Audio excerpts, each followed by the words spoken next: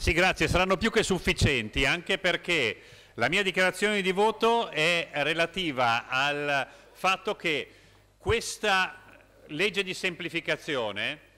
è eh, un po' la fotografia di quello che sta accadendo in questo momento in Consiglio regionale.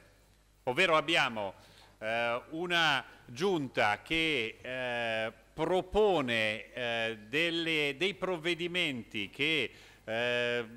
ci sembrano più estemporanei che inseriti in un quadro organico di visione per questa regione.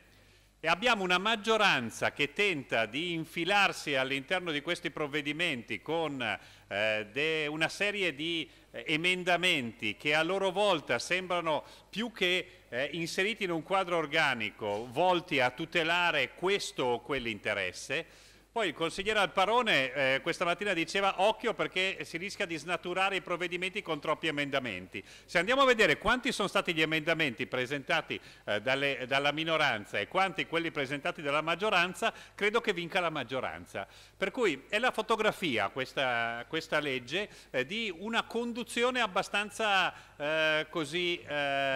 eh, disarmonica da parte eh, della maggioranza e della Giunta. Ciò nonostante avrete notato che noi su diversi articoli ci siamo astenuti perché entrando nel merito di questa legge di semplificazione qualche passaggio oggettivamente aveva eh, degli elementi positivi che abbiamo voluto sottolineare. Tutto ciò però non riesce a eh, emendare questa legge da quel vizio di fondo che eh, sottolineavo in precedenza. Io mi auguro davvero che per il proseguio di questa legislatura, a partire dal bilancio che ci troveremo a discutere eh, tra poche settimane in quest'Aula, ci possa essere davvero un atteggiamento diverso, anche nei confronti di quelle che sono le proposte che arrivano dai banchi della minoranza. Eh, se andiamo a vedere molti degli emendamenti che noi abbiamo presentato erano emendamenti per questa legge di semplificazione assolutamente nel merito delle questioni,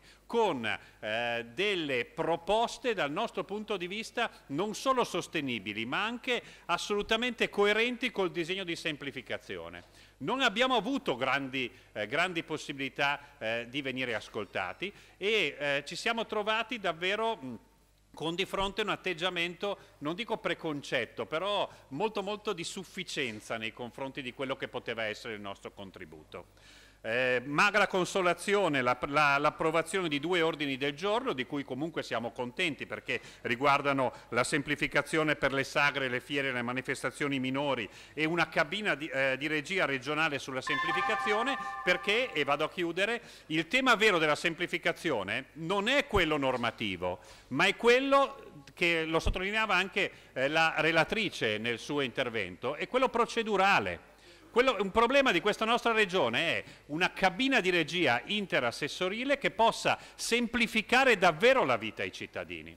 Per cui il voto nostro su questa legge sarà un voto contrario, con eh, la speranza che si possa davvero ricominciare a lavorare in maniera diversa e con una visione della semplificazione in questa nostra regione che stia attenta ai cittadini e non agli interessi di questa o quella categoria che purtroppo continuano a riaffiorare in maniera evidente anche all'interno del dibattito in quest'Aula.